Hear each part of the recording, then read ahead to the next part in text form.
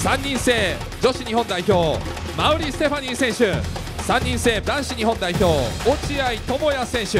5人制女子日本代表高田真希選手5人制男子日本代表篠山竜星選手。あの間違いなくあの日本のバスケットボール来ると思います。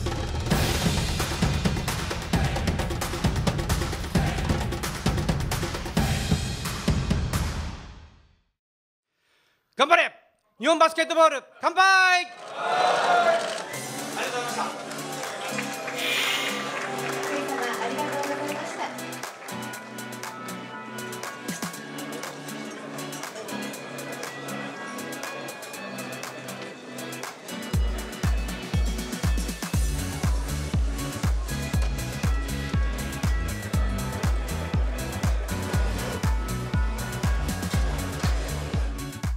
もう1年を切りました来年の東京オリンピック・パラリンピックに向けて我々バスケット界は4つのカテゴリーで出場することができます1964年に東洋の魔女が日本を一つにしたようにですね男子のバスケ女子のバスケがですね、そうした役割を果たしてくれるんではないかということで、期待をしているところであります。